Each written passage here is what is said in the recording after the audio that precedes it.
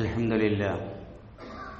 نحمده ونستعينه ونؤمن به ونتوكل عليه. ونعوذ بالله من شرور أنفسنا ومن سيئات أعمالنا. من يهده الله فلا مضل له ومن يضلل فلن تجد له وليا مرشدا. أشهد أن لا إله إلا الله وحده لا شريك له خصنا بخير كتاب أنزل وأكرمنا بخير نبي أرسل وأتم علينا النعمة بأعظم دين شرع. وجعلنا بهذا الدين خير أمة أخرجت للناس. نأمر بالمعروف وننهى عن المنكر ونؤمن بالله. وأشهد أن سيدنا وحبيبنا وأسوتنا وقدوتنا محمدا عبد الله ورسوله. بلغ الرسالة وأدى الأمانة ونصح للأمة وكشف الغمة وجاهد في سبيل الله حق جهاده.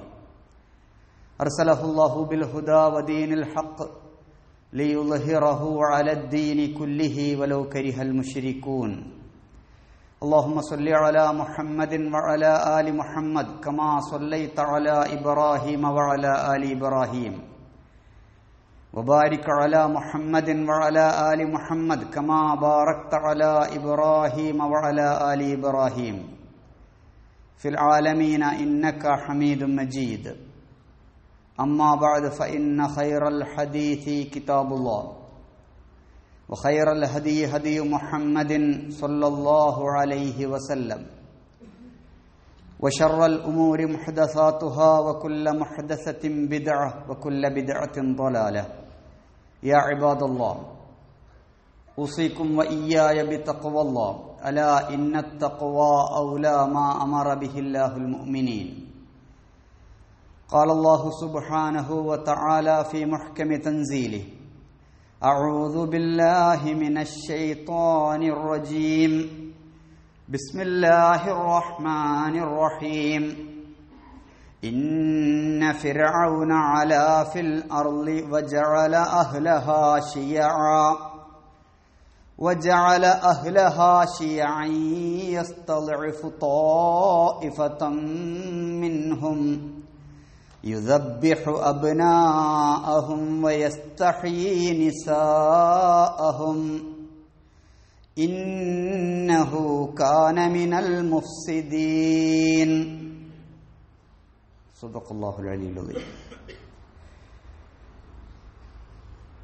ബഹുമാന്യരായ സത്യവിശ്വാസികളെ സത്യവിശ്വാസിനികളെ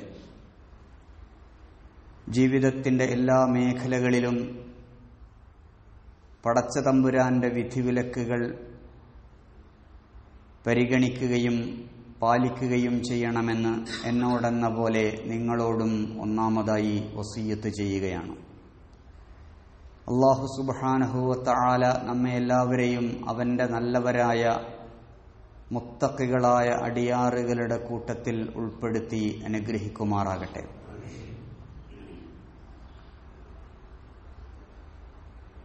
ചരിത്രത്തിൽ ഒരുപാട് ധിക്കാരികൾ കഴിഞ്ഞുപോയിട്ടുണ്ട്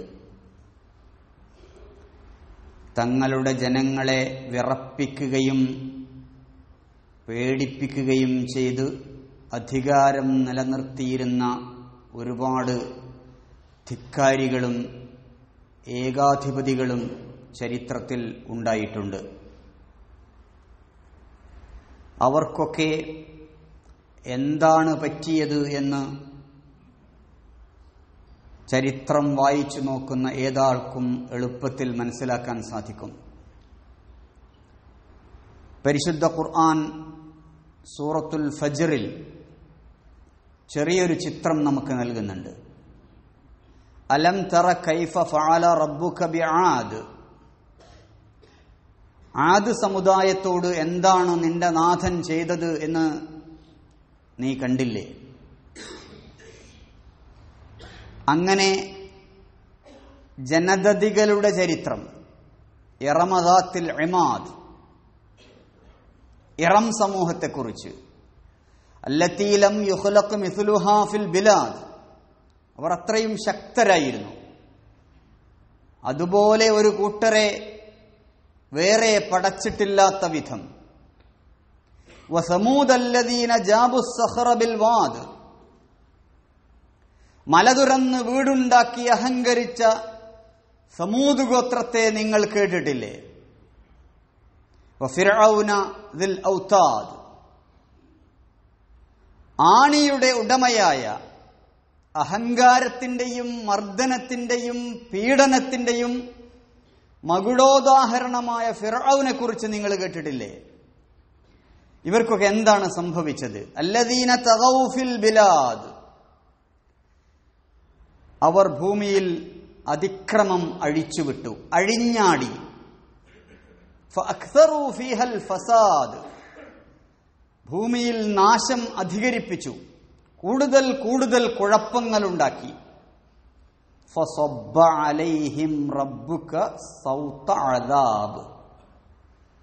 അപ്പോൾ നിന്റെ നാഥൻ ശിക്ഷയുടെ ചാട്ടവാർ കൊണ്ട് ഒന്ന് വീശി. ഇന്ന റബ്ബക്ക ലബിൽ മിർസാദ്. തീർച്ചയായും നിന്റെ നാഥൻ പതിസ്ഥലത്ത് കാത്തിരിക്കുന്നവനാണ്. വരും.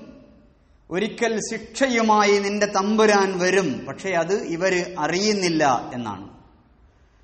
ഇങ്ങനെ ചരിത്രത്തിൽ പല സമൂഹങ്ങൾ പല ഏകാധിപതികൾ കടന്നുപോയിട്ടുണ്ട് എന്ന് അള്ളാഹു നമ്മെ ഓർമ്മപ്പെടുത്തുന്നുണ്ട്. ഫിറൌൻ ഹാറൂൻ ആദ് സമുദായം സമൂത് സമുദായം പിന്നീട് ചരിത്രത്തിൽ ഇങ്ങനെ ഇങ്ങോട്ട് വന്നാൽ നബിസല്ലാഹു അലൈഹി വസല്ലമയുടെ കാലത്ത് കുറൈശികളുടെ നേതാവായിരുന്ന അബൂജഹൽ അബൂലഹബ് ഇവർക്കൊക്കെ എന്താണ് പറ്റിയത്? പിന്നീട് ഏകാധിപതികളായി വാണ ഈ നൂറ്റാണ്ടിലെയും കഴിഞ്ഞ നൂറ്റാണ്ടിലെയും ഒക്കെ ഏകാധിപതികൾക്കും ധിക്കാരികൾക്കും എന്താണ് പറ്റിയത്? ഇസ്രയേലിലെ ഏരിയൽ ഷാരോൺ അദ്ദേഹത്തിന്റെ അന്ത്യം ആ അവസാനം എങ്ങനെ? Hitler Mussolini Ceausescu. ഇങ്ങനെ നമുക്ക് ചരിത്രത്തിൽ എണ്ണാൻ പറ്റുന്ന ഒരുപാട് ഒരുപാട് ഏകാധിപതികളുണ്ട്. അവരുടെയൊക്കെ അന്ത്യം എങ്ങനെയായിരുന്നു എന്ന് പരിശോധിക്കുന്നത് വളരെ ഗുണപാഠങ്ങൾ നമുക്ക് ഉൾക്കൊള്ളാൻ സാധിക്കുന്നതാണ്. നമ്മളിപ്പോൾ ഫാഷിസത്തെക്കുറിച്ച് ധാരാളമായി സംസാരിച്ചു കൊണ്ടിരിക്കുന്നു ഫാഷിസം ഒരർത്ഥത്തിൽ തുടങ്ങുന്നത് ഇറ്റലിയിലെ ഏകാധിപതിയായിരുന്ന മുസോളിനിയിൽ നിന്നാണ് എന്നാണ് നാം സാധാരണ പറയാറുള്ളത്. ആ ഒരർത്ഥത്തിൽ അത് ശരിയുമാണ്. പക്ഷേ ഫാഷിസത്തിന്റെ ലക്ഷണങ്ങൾ മുസോണി മുസോളിനിയിൽ തുടങ്ങിയതല്ല. അത് ഹിറ്റ്ലറിൽ തുടങ്ങിയതല്ല. അതിനു മുമ്പേ ഈ ലക്ഷണങ്ങൾ പ്രകടിപ്പിച്ച ഒരുപാട് ഒരുപാട് ഭരണാധികാരികൾ കഴിഞ്ഞുപോയിട്ടുണ്ട് തീർച്ചയായും കഴിഞ്ഞ നൂറ്റാണ്ടിന്റെ ഇരുപതാം നൂറ്റാണ്ടിന്റെ പ്രധാനപ്പെട്ട ഏകാധിപതികളായിരുന്നു ഫാഷിസ്റ്റ് മുസോളിനിയും നാസിസ്റ്റ് ഹിറ്റ്ലറും. തീർച്ചയായും അവർ അങ്ങനെ തന്നെയാണ് വിലയിരുത്തപ്പെടേണ്ടതും. ഇരുപതാം നൂറ്റാണ്ടിലെ ലക്ഷണമൊത്ത രണ്ട് ഏകാധിപതികൾ. അവരുടെ അന്ത്യം എങ്ങനെയായിരുന്നു എന്ന് പരിശോധിച്ചു നോക്കുക. മുസോളിനി വലിയ ധീരതയുടെ പ്രതീകമായി വിലയിരുത്തപ്പെട്ട മുസോളിനി ഭീരുവിനെ പോലെ ഒളിച്ചോടുകയായിരുന്നു. വഴിയിൽ വെച്ച് പിടിക്കപ്പെട്ടു. വധശിക്ഷക്ക് വിധേയമാക്കി. എന്നിട്ട് ആടിനെയും പോത്തിനെയുമൊക്കെ അറുത്തിട്ട് അവരുടെ മാംസമിങ്ങനെ ഇറച്ചിക്കടയിൽ തൂക്കിയിടുന്നത് പോലെ മുസോലിനിയെ വധശിക്ഷയ്ക്ക് വിധേയമാക്കി തലകീഴാക്കി തൂക്കിയിടുകയായിരുന്നു എന്ന് ചരിത്രം നമ്മളോട് പറയുന്നു. ഹിറ്റ്ലർ ആത്മഹത്യ ചെയ്തതാണത്രേ. വിശദാംശങ്ങളിലേക്ക് ഞാൻ പോകുന്നില്ല. ഇതൊക്കെ കഴിഞ്ഞ നൂറ്റാണ്ടിന്റെ മധ്യത്തിൽ സംഭവിച്ചതാണ്. ആയിരത്തി തൊള്ളായിരത്തി നാൽപ്പത്തി അഞ്ച് എന്ന വർഷം അങ്ങനെ എണ്ണപ്പെടുന്നതാണ്. മുസോളിനിയുടെയും ഹിറ്റ്ലറുടെയും ദാരുണമായ അന്ത്യം. തീർച്ചയായും നമുക്ക് ചരിത്രത്തിലൂടെ ഒന്ന് കണ്ണോടിച്ചു നോക്കുകയാണെങ്കിൽ ഇതുപോലുള്ള ഒരുപാട് ഏകാധിപതികളെ നമുക്ക് കാണുവാൻ കഴിയും. അവരുടെയൊക്കെ പൊതുവായ ചില സമാനമായ ചില സ്വഭാവങ്ങളെയും നമുക്ക് അടയാളപ്പെടുത്താൻ കഴിയും. ഹിറ്റ്ലറുടെയും മുസോളിനിയുടെയും ഒക്കെ പ്രധാനപ്പെട്ട ഒരു ആയുധം ദേശീയതയായിരുന്നു. നമ്മുടെ രാജ്യം നമ്മുടെ ദേശം നമ്മുടെ വംശം നമ്മുടെ വർഗം. ഇതായിരുന്നു അവരെടുത്തുപയോഗിച്ചിരുന്ന അത്യധികം അപകടകരമായ കാടുകൾ. ദേശത്തെക്കുറിച്ചും ദേശവാസികളെക്കുറിച്ചും അവർ വാതോരാതെ സംസാരിച്ചിരുന്നു. നാടിനെക്കുറിച്ചും നാടിന്റെ സൈന്യത്തെക്കുറിച്ചും ജനങ്ങളെ പറഞ്ഞ് ഇങ്ങനെ ഉന്മത്തരാക്കിയിരുന്നു. ഇതൊക്കെയായിരുന്നു അവരുടെ പ്രധാനപ്പെട്ട ചില സവിശേഷതകൾ. ചരിത്രത്തിലേക്ക് നമ്മൾ തിരിഞ്ഞു നോക്കുകയാണെങ്കിൽ ഇത്തരത്തിൽ ഒരുപാട് ഏകാധിപതികളെ നമുക്ക് കാണാൻ കഴിയും. ഒരു കേസ് സ്റ്റഡി എന്ന നിലയിൽ നമുക്ക് ഖുർആൻ അടയാളപ്പെടുത്തിയ ഒരു ഏകാധിപതിയെക്കുറിച്ച് ചെറുതായൊന്ന് പരിശോധിച്ചു നോക്കാം. ഫിർഔൻ എന്നാണ് ആ ഏകാധിപതിയുടെ പേര്. ധിക്കാരികളുടെ നേതാവ്. ഒരുപാട് ഒരുപാട് സാമ്യതകൾ പൊരുത്തങ്ങൾ നമുക്ക് കാണും. അങ്ങനെ പൊരുത്തങ്ങൾ കണ്ടാൽ അത് കേവലം യാദൃച്ഛികതയല്ല സ്വാഭാവികമാണ് എന്ന് മനസ്സിലാക്കുക. കാരണം ചരിത്രം അങ്ങനെയാണ്. ചരിത്രം ആവർത്തിച്ചുകൊണ്ടേയിരിക്കും. ഫിർഔൻ പ്രധാനമായും രണ്ട് തരം കുറ്റങ്ങളാണ് ചെയ്തിട്ടുള്ളത് എന്ന് ഖുർആാനിൽ നിന്ന് നമുക്ക് മനസ്സിലാക്കാൻ കഴിയും. ഒന്നാമത് ക്രൈം എഗെയിൻസ്റ്റ് അള്ളാഹ്. അള്ളാഹുവിനെതിരെയുള്ള കുറ്റം. പടച്ച തമ്പുരാനോടുള്ള കുറ്റം. മറ്റൊന്ന് ക്രൈം എഗെയിൻസ്റ്റ് ഹ്യൂമാനിറ്റി മാനവരാശിയോടുള്ള അക്രമം കുറ്റം. ഈ രണ്ട് തരത്തിലും ഫിർഔൻ ചെയ്തിട്ടുള്ള അക്രമങ്ങളും കുറ്റങ്ങളുമൊക്കെ ഖുർആൻ എണ്ണി എണ്ണി പറയുന്നുണ്ട്. ഖുർആാനിൽ ഏറ്റവും അധികം പരാമർശിക്കപ്പെട്ട പ്രവാചകൻ മൂസാ നബി അലൈഹിസ്സലാമാണ്. മൂസാ നബിയും ഫിർഔനും തമ്മിലുള്ള ചരിത്രം ഖുർആൻ പല സൂറകളിലായി അനവധി സൂറകളിലായി നമുക്ക് വരച്ചു കാണിച്ചു തരുന്നുണ്ട്. ഫിർഔൻ കൊലപാതക രാഷ്ട്രീയത്തിന്റെ ആളായിരുന്നു. സൂറത്തുൽ കസസ് തുടങ്ങുന്ന ഭാഗത്ത് തന്നെ അള്ളാഹു സുബാനഹു താല പറയുന്നുണ്ട് ഇന്ന ഫിർഔൻ അലാ ഫിൽ അർദ് വജഅല അഹ്ലഹാ ശിയഅ ഫിറോൻ ഭൂമിയിൽ അഹങ്കാരിയായി മാറി. തന്റെ ജനതയെ ഛിന്ന ഭിന്നമാക്കി ജാതികളാക്കി വർഗങ്ങളാക്കി പല വിഭാഗങ്ങളാക്കി. മിൻഹും അവരിൽ ഒരു കൂട്ടരെ അങ്ങേയറ്റം ദുർബലരാക്കി. യുദബ്യഹു അഭിനാഹും അവരിലെ ആണുങ്ങളെ കൊന്നുകളഞ്ഞു പെണ്ണുങ്ങളെ അപമാനിതരാക്കി.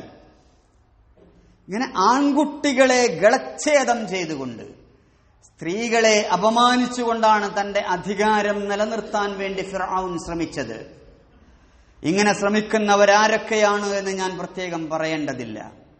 പേടിയായിരുന്നു ഫിറാവുന് തന്റെ കസേര നശിപ്പിക്കാൻ ബനു ഇസ്രായേലിൽ ആരോ വരുന്നുണ്ട് എന്ന് സ്വപ്നവ്യാഖ്യാനമായി പറഞ്ഞപ്പോൾ അതിന് അദ്ദേഹം കണ്ട ഒരു പരിഹാരമാണ് കൊലപാതക രാഷ്ട്രീയം.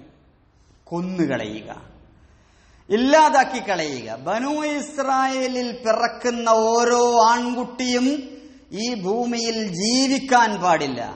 പക്ഷെ അള്ളാഹുവിന്റെ തീരുമാനം മൂസാ നബിയെ ഫിറൌനിന്റെ കൊട്ടാരത്തിൽ വളർത്തുക എന്നതായിരുന്നു. അങ്ങനെ തന്നെയാണ് ചരിത്രത്തിൽ അത് സംഭവിച്ചിട്ടുള്ളത്. ഫിറൌൻ കൊലപാതക രാഷ്ട്രീയത്തിന്റെ ആളായിരുന്നു. തനിക്ക് ഭീഷണി എന്ന് തോന്നുന്നവരെ ഇല്ലാതാക്കുക എന്നതായിരുന്നു ഫിറൌനിന്റെ നയം. അതോടൊപ്പം തന്നെ ഫിറൌൻ കളിച്ച മറ്റൊരു കളി ആ കളിയുടെ പേര് ദൈവം കളി എന്നാണ്. ഫിറൌൻ ദൈവം കളിച്ചിട്ടുണ്ട്. ഞാനാണ് നിങ്ങളുടെ ദൈവം എന്ന് അവകാശപ്പെട്ടിട്ടുണ്ട്. ഞാനാണ് നിങ്ങളുടെ എല്ലാം എല്ലാം എന്ന് വീമ്പിളക്കിയിട്ടുണ്ട്. പരിശുദ്ധ ഖുർആൻ ഫിർഔനെ അടയാളപ്പെടുത്തുന്നത് അങ്ങനെ തന്നെയാണ്. ഞാനാണ് നിങ്ങളുടെ കൺകണ്ട ദൈവം എന്ന് ജനങ്ങളോട് പറഞ്ഞ ഏകാധിപതി.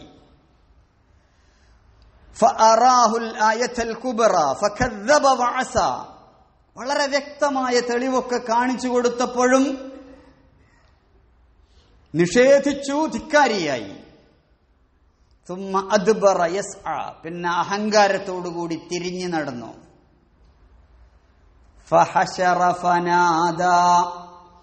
എന്നിട്ട് ജനങ്ങളെല്ലാവരെയും വിളിച്ചുകൂട്ടി. ഈജിപ്തിലെ തന്റെ പ്രജകളെ മുഴുവൻ വിളിച്ചുകൂട്ടിയിട്ട് ഫിറൌൻ ചോദിച്ചു ഫഖാല അന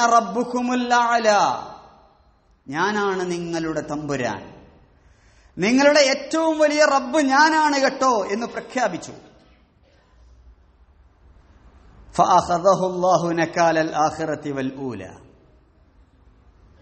ആദ്യകാലക്കാർക്കും പിൽക്കാലക്കാർക്കും ഒരു പാഠമായി ഒരു കേസ് സ്റ്റഡിയായി തന്നെ ഫിറൌനെ അള്ളാഹു എടുത്തു ശിക്ഷിച്ചു.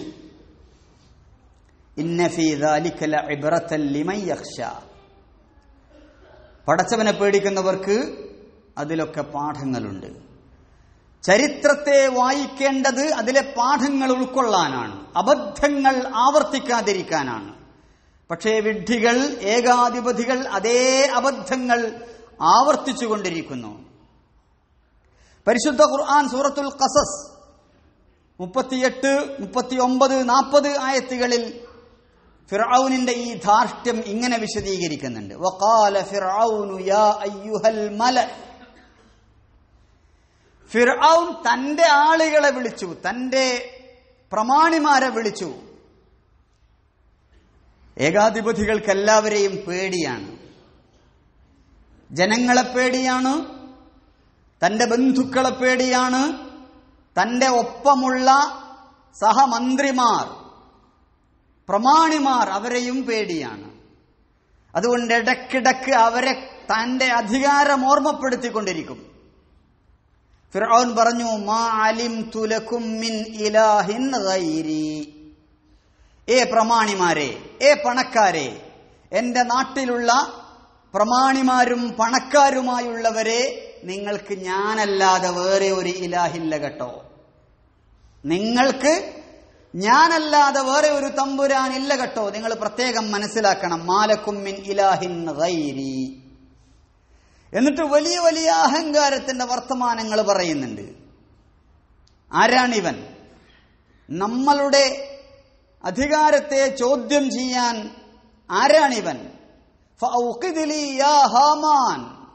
എന്നിട്ട് തന്റെ മന്ത്രിയെ വിളിച്ചുകൊണ്ട് ഹാമാനെ വിളിച്ചുകൊണ്ട് പറയുന്നുണ്ട് എനിക്ക് വേണ്ടിയിട്ട് ഒരു ഗോപുരമുണ്ടാക്ക്. എന്നിട്ട് മൂസാനബിന്റെ ദൈവത്തെ ഞാനൊന്ന് പോയിട്ട് കാണട്ടെ. ഇലാഹി മൂസ. മൂസ നബീന്റെ ദൈവത്തെ ഞാനൊന്ന് പോയി കണ്ടുവരാം. നീ എനിക്ക് ദൈവത്തിലേക്ക് ഒരു ഗോവണി ഒരു ഗോപുരം ഉണ്ടാക്കിക്കൊണ്ട.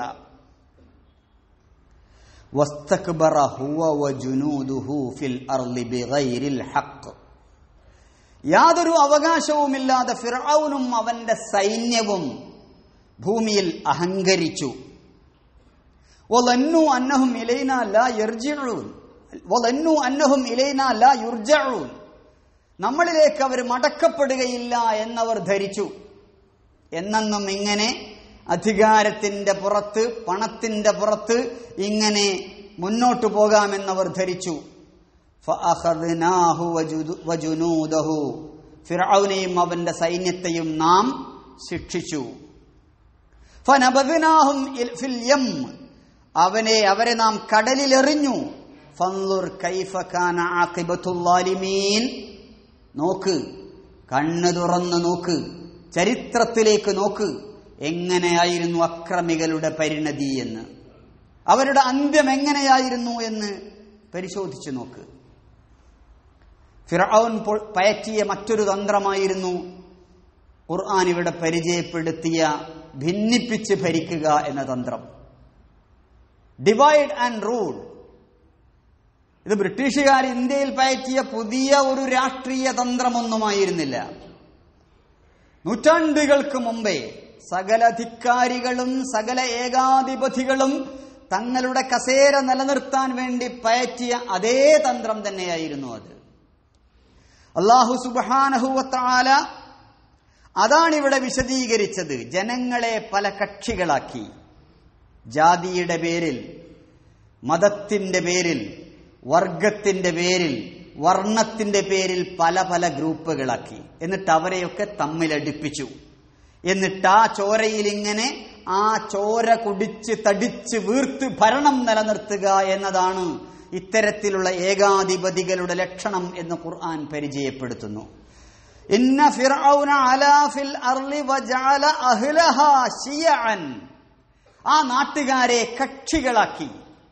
വിഭിന്ന ചേരികളിലാക്കി മാറ്റി വിഭിന്ന വിഭാഗങ്ങളാക്കി മാറ്റി എന്നിട്ട് ചിലരെ വളരെ ദുർബലരാക്കി. ഇതായിരുന്നു ഫിർഔൻ കളിച്ച അപകടകരമായ ഒരു പൊളിറ്റിക്സ് രാഷ്ട്രീയം എന്ന് പറയുന്നത്. തന്റെ അധികാരം നിലനിർത്താൻ ജനങ്ങളെ കോപ്റ്റിക്കുകളാക്കി ക്രിബിത്തികളാക്കി ബനു ഇസ്രായേലിയരാക്കി അവരെ ശത്രുക്കളാക്കി പല വിഭാഗങ്ങളാക്കി തമ്മിലടിപ്പിച്ചു. അതോടൊപ്പം തന്നെ ഫിറൌൻ പയറ്റിയ മറ്റൊരു നമ്പർ. ഇവിടെയുള്ള എല്ലാ അധികാരവും എന്റെ കയ്യിലാണ്. നിങ്ങൾക്ക് വെള്ളം വേണോ? എന്നാൽ എന്നെ രാജാവായി അംഗീകരിക്കുക. നിങ്ങൾക്ക് ഭക്ഷണം വേണോ?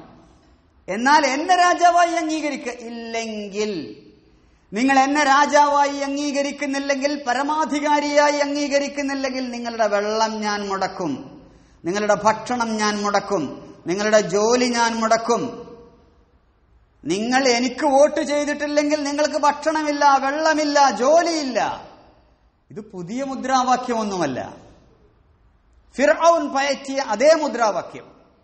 ഫിർഔൻ പറഞ്ഞതായി സൂറത്തു സുഹ്റുഫിൽ കാണാം. വനാദാ ഫിർഔനു ഫീ ഖൗമി قال يا قوم أليس لي ملك مصر ഫിർഔൻ ജനങ്ങളോട് ചോദിച്ചു അല്ല ജനങ്ങളെ എന്റെ കയ്യിലല്ലേ ഈ രാജ്യത്തിന്റെ അധികാരം വഹാദിഹിൽ അൻഹാറു തജ്രി മിൻ തഹ്തി അഫലാ തുബ്സിറൂൻ എന്താ നിങ്ങൾ കാണുന്നില്ലേ ഈ കാണുന്ന നദികൾ ഇത് എന്റെ അധികാരപരിധിയിൽപ്പെട്ടതാണ്. എന്താണ് അതിന്റെ അർത്ഥമെന്നറിയോ? എന്റെ അധികാരത്തെ എങ്ങാനും നിങ്ങൾ ചോദ്യം ചെയ്യാൻ വന്നാൽ ഒരു തുള്ളി വെള്ളം ഞാൻ നിങ്ങൾക്ക് തരില്ല. കാരണം വഹാദിഹിൽ അൻഹാറു തജ്രി മിൻ തഹ്തി. ഈ നദികളൊക്കെ നിങ്ങൾ കണ്ടുകൊണ്ടിരിക്കുന്ന ഈ നദികളൊക്കെ എന്റെ അധികാരത്തിൽപ്പെട്ടതാണ്. അതുകൊണ്ട് അഫലാ തുബുസിറൂൻ കണ്ണു തുറന്ന് കണ്ടോളി. പേടിച്ചോളി. ഇതാണ് ഫിറാവുൻ പറഞ്ഞിരുന്നത്. എന്നിട്ട് ഫിറാവുൻ ചോദിച്ചു അം അന ഖൈറുൻ? ഞാനാണോ നല്ലത്? മിൻ ഹാദല്ലദി ഹുവ മഹീൻ. ഈ വൃത്തികെട്ട ഈ നിന്ദനായ മൂസയാണോ? അതല്ല ഞാനാണോ നിങ്ങൾക്ക് വേണ്ടത്? എല്ലാ അധികാരികളും ചോദിച്ച ചോദ്യം. ഇതേ ചോദ്യം തന്നെയാണ് ഫിറൌനും ചോദിച്ചിട്ടുള്ളത് എന്ന് കാണാം. ഫിറാൻ ഫിറൌൻ തന്റെ അധികാരം നിലനിർത്താൻ വേണ്ടി ഇറക്കിയ മറ്റൊരു നമ്പർ പരിശുദ്ധ ഖുർആാനിൽ നമുക്ക് കാണാം. ഞാൻ വീണ്ടും പറയുന്നു ഇന്നത്തെ ഭരണാധികാരികളുമായി ഇതിൽ വല്ല സാദൃശ്യവും തോന്നുന്നുണ്ടെങ്കിൽ അത് യാദൃച്ഛികമല്ല. അത് സ്വാഭാവികമാണ് ചരിത്രപരമാണ്. ചരിത്രം ആവർത്തിച്ചുകൊണ്ടേയിരിക്കും. ഫിറൌൻ എടുത്തു വയറ്റിയ മറ്റൊരു നമ്പർ ദേശീയതയായിരുന്നു. മതവും ദേശീയതയും കൂട്ടിക്കുഴച്ചിട്ടാണ് അദ്ദേഹം ജനങ്ങളെ തന്റെ പക്ഷത്ത് ഉറപ്പിച്ചു നിർത്താൻ ശ്രമിച്ചത്. ഫിറൌനും ഫിറൌന്റെ ആളുകളും പറഞ്ഞു വരത്തിയത് എന്താണെന്ന് ഖുർആൻ സൂറത്ത് താഹയിൽ വിശദീകരിക്കുന്നു. കാലു ഇൻഹാദാനില സാഹിറാനി യുരീദാനി യുഖ്രിജാകും മിൻ അർളിക്കും ബിസിഹ്രിഹിമാ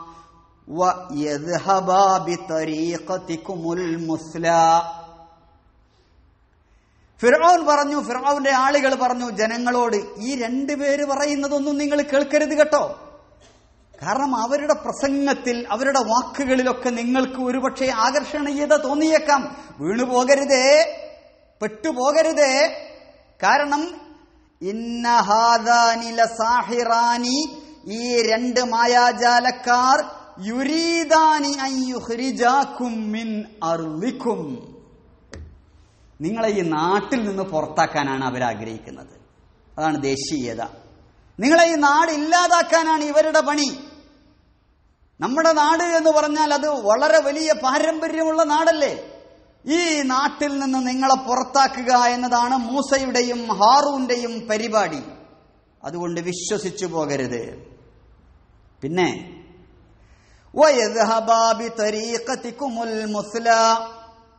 നിങ്ങളുടെ പാരമ്പര്യം നിങ്ങളുടെ ആചാരം നിങ്ങളുടെ മതം ഇതൊക്കെ നശിപ്പിക്കാനാണ് ഇവർ വന്നിട്ടുള്ളത്.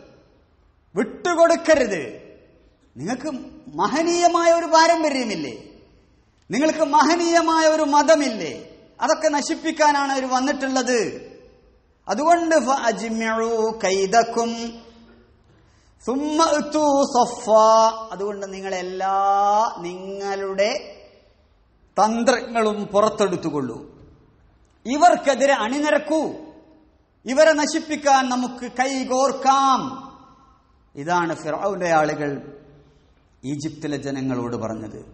വഖദ് അഫ്ലഹൽ യൗമ മനിസ്തഅല. എതിരാളി ആരാണ് തോൽപ്പിക്കുന്നത്? അവനാണ് ജയിക്കുക. ഇതായിരുന്നു അവരുടെ മന്ത്രം. അവർ വയറ്റിയ വളരെ പ്രധാനപ്പെട്ട ഒരു ഒരു ഒരു ഒരു ഒരു നമ്പർ കൂടിയുണ്ട്. അത് കൂടി ഈ സന്ദർഭത്തിൽ നമുക്ക് മനസ്സിലാക്കൽ അനിവാര്യമാണ്. എന്നിട്ട് അതിനെ ഇന്നത്തെ നമ്മുടെ സമകാലിക സാഹചര്യത്തോട് ചേർത്ത് വെക്കുക.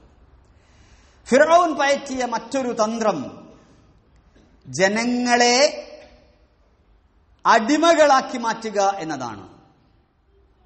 അനുസരിക്കുന്ന ഭാഗത്തിൽ അടിമകളാക്കി മാറ്റുക.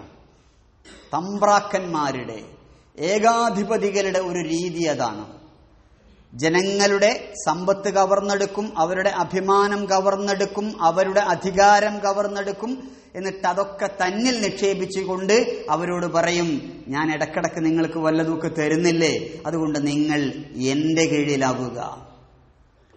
പരിശുദ്ധ ഖുർആൻ ഇത് വളരെ മനോഹരമായി വിശദീകരിക്കുന്നുണ്ട് സൂറത്തുൽ മുഅ്മിനൂൻ ثم أرسلنا موسى وأخاه هارون بآياتنا وسلطان مبين വ്യക്തമായ തെളിവുകളോടുകൂടി മൂസയെയും ഹാറൂനേനെയും നാം അയച്ചു ഇലാ ഫിർഔന വമലഇഹി ഫിർഔനിലേക്കും അവന്റെ സംഘത്തിലേക്കും ഫസ്തക്ബറു അവർ അഹങ്കാരികളായി വഖാനു ഖൗമൻ ആലീൻ അവർ ധിക്കാരികളായ ജനതയായിരുന്നു ഫഖാലു. എന്നിട്ട് അവർ ചോദിച്ചു അനുമിനു ലി ബശറൈനി മിസ്ലിന വഖൗമുഹുമാ ലനാ ആബിദൂൻ. ഇവർക്കാണോ ഇവരെയാണോ അപ്പൊ ഞങ്ങൾ കേൾക്കേണ്ടത്? വഖൗമുഹുമാ ലനാ ആബിദൂൻ. ഈ മൂസയുടെ ഹാറൂന്റെ സമൂഹം മുഴുവൻ ഞങ്ങളുടെ അടിമകളാണ്. ബനു ഇസ്രായേലർ ഞങ്ങൾക്ക് അടികം അടിമപ്പണി ചെയ്യുന്നവരാണ്. ഞങ്ങളൊരു വാക്ക് പറഞ്ഞാൽ അതിന്റെ അപ്പുറം മിണ്ടാൻ കഴിവില്ലാത്തവരാണ്. എന്നിട്ട് അത്തരത്തിലുള്ള ആളുകളെ അനുസരിക്കണം എന്നാണോ നിങ്ങൾ പറയുന്നത് സൂറത്തു സുഹ്റുഫിൽ അമ്പത്തിനാലാമത്തെ ആയത്തിൽ അള്ളാഹു സുബാനഹുവത്താല ഇത് വളരെ മനോഹരമായി വിശദീകരിച്ചു.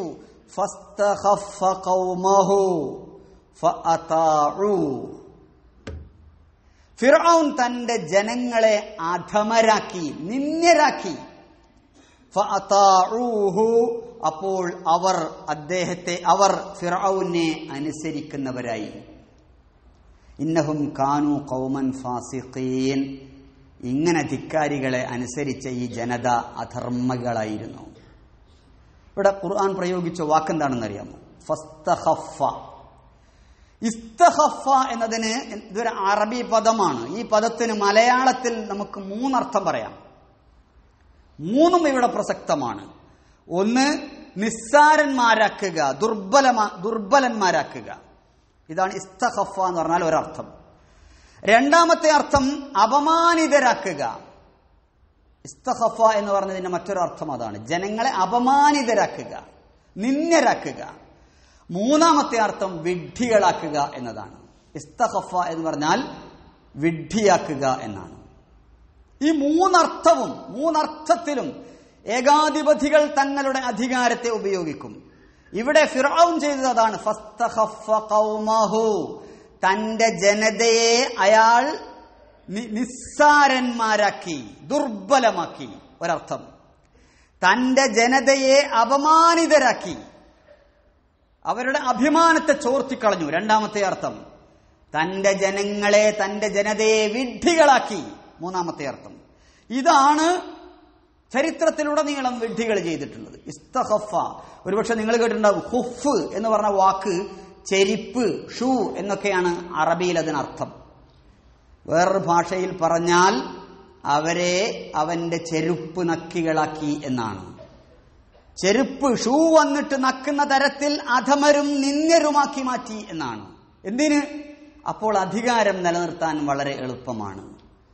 താഴെ കമഴ്ന്നു കിടക്കുന്നവന്റെ കഴുത്തിൽ ഷൂ വെച്ച് നിൽക്കാൻ വളരെ എളുപ്പമാണ്. ഇതായിരുന്നു ഫിറൌൻ പയറ്റിയ തന്ത്രം. സാമ്പത്തികമായി അവരെ തളർത്തുക. ശാരീരികമായി അവരെ ദുർബലരാക്കുക. അവരുടെ ആത്മവിശ്വാസം കെടുത്തിക്കളയുക. അവരെ ജയിലിലടക്കുക. ഇതൊക്കെ ഇന്ന് നടന്നുകൊണ്ടിരിക്കുന്നു. ഈ അടുത്ത് ജയിലിൽ കിടക്കുന്ന നിരപരാധികളായ ഒരുപാട് ആളുകളുണ്ട്. പല ചരിത്രങ്ങളും പല സംഭവങ്ങളും നമ്മൾ കേൾക്കുമ്പോൾ അത്ഭുതപ്പെട്ടു പോകും. ജയിലിൽ ഒരുപാട് ആളുകളെ കൊണ്ടുപോയി കിടത്തിയിട്ടുണ്ട്. എന്താണ്? ഏകാധിപതികൾക്കെതിരെ സംസാരിച്ചു എന്നതാണ് കുറ്റം.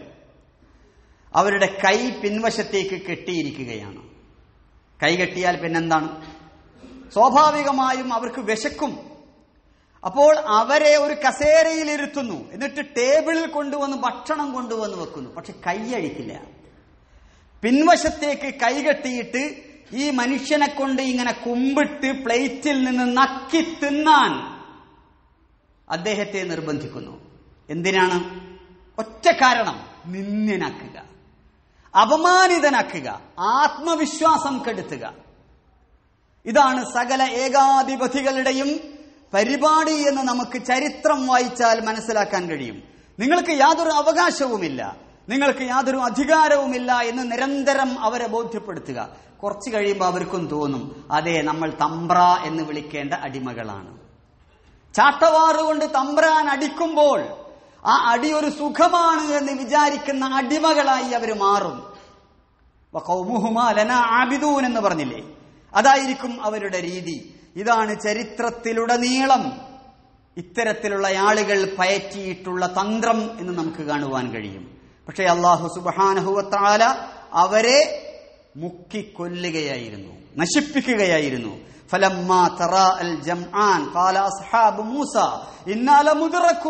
മൂസ നബിയുടെ ആളുകൾ ഇങ്ങനെ മുന്നോട്ട് പോകും മൂസ നബി അവരെ രക്ഷിക്കാൻ വേണ്ടി കൊണ്ടുപോവുകയാണ് അവർ പറഞ്ഞു ഞങ്ങൾ ഇതാ പെട്ടല്ലോ പിന്നാലെ ഇതാ ഫിറാവിന്റെ സൈന്യം. മൂസ നബി പറഞ്ഞു പേടിക്കല്ല. എന്റെ കൂടെ റബ്ബുണ്ട്. നമുക്ക് വഴി കാണിച്ചു തരും. എനിക്ക് എന്താണ് മുന്നോട്ട് പോവേണ്ടത്? എങ്ങനെയാണ് എന്ന് കാണിച്ചു തരും.